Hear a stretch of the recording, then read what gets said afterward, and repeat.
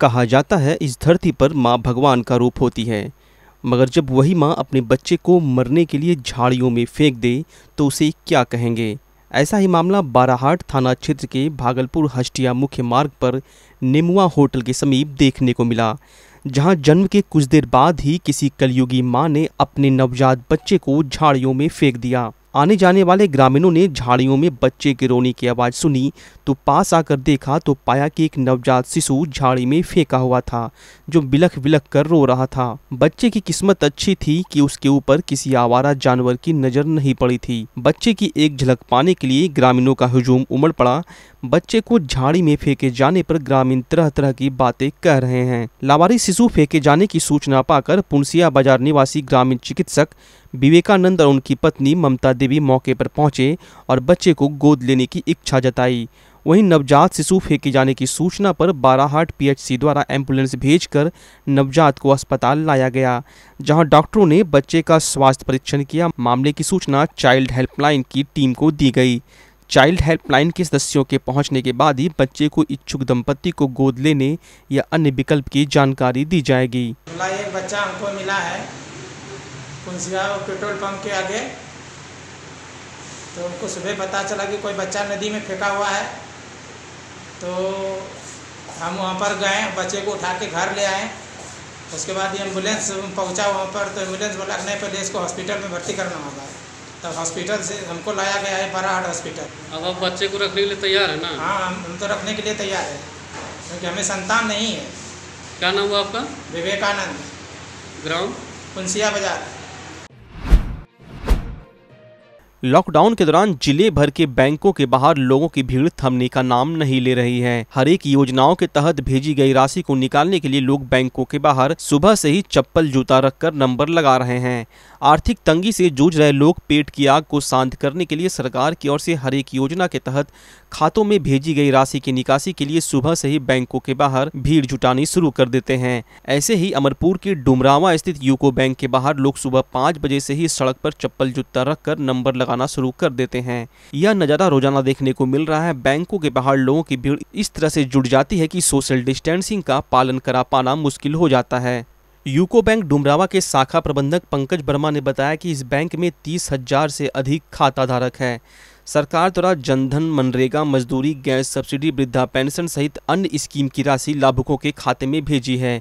लोगों को राशि देने के लिए चार कैश काउंटर बनाए गए हैं। रोज़ाना लगभग 500 लोगों को राशि दी जा रही है। सरकार के तमाम गाइडलाइन का पालन करने के बावजूद सोशल डिस्टेंसिंग का पालन नहीं हो पा रहा है। पुलिस की मदद ली जा रही है और लगातार कोरोना संक्रमण से बचने के लिए माइकिंग कराई जा रही है।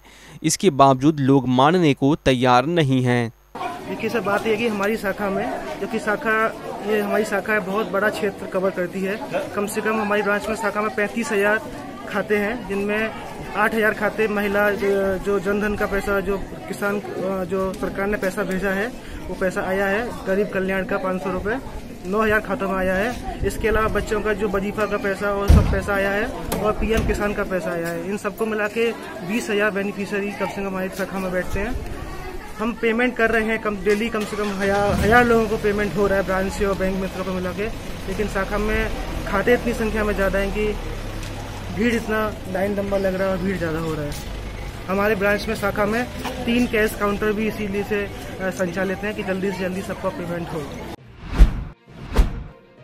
पूरे देश में कोरोना वायरस के प्रकोप से जहाँ आम लोगों में दहशत फैली हुई है, वहीं दूसरी तरफ़ कोरोना वायरस से बचाव को लेकर शहर के समाज से भी एकजुटता दिखाते हुए आम लोगों को इस वायरस से बचाव के लिए अमरपुर के समाज सेवी सत्यम कुमार महतो और भोला महतो, चंदन तिवारी एवं अजीत पुद्दार द्वारा किए गए कार्यो की जमकर सराहना हो रही है। इन्होंने गुरुवार के दिन पूरे क्षेत्र को सैनिटाइज करने का बीड़ा उठाया। इसी कड़ी में गुरुवार के दिन अमरपुर खेमी चक सलेमपुर, गलेमपुर बिसम्बर चक गाँव को सैनिटाइज किया गया। इस अवसर पर समाज सेवी सत्यम महतो एवं चंदन तिवारी ने बताया कि मानव सेवा से बढ़कर कोई दूसरा कार्य नहीं होता है। आज पूरा देश कोरोना वायरस के संकट से जूझ रहा है, जिससे बचाव के लिए ग्रामीण क्षेत्रों में सैनिटाइजेशन करवाया जा रहा है। वहीं चंदन तिवारी ने बताया कि खेमी चक स्थित अपने पेट्रोल पंप पर कार्यरत सभी कर्मियों को सोशल डिस्टेंस का पालन करते हुए पेट्रोल लेने आए ग्राहकों को मास्क के बिना तेल नहीं देने की कड़ी हिदायत भी दी गई है, जिसका कर्मी बखूबी से पालन कर रहे हैं। ग्रामीण क्षेत्रों में सैनिटाइज करने में अजीत कुमार, नागो यादव, मुनीलाल मंडल, मनोज यादव, चेरू मंडल, शेखर सिंह समेत पेट्रोल पंप के कर्मियों ने सहयोग किया। कोरोना पॉजिटिव आने के कारण हम लोग ने एक विचार किया कि पूरे जो अमरपुर प्रखंड है, उसको थोड़ा सा सैनिटाइज किया जाए।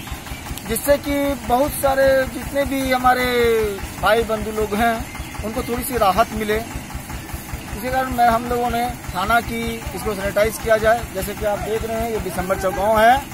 यहाँ पे सैनिटाइज कर रहे हैं मंदिर है, इसको भी सैनिटाइज हम लोग ने कर रखा है।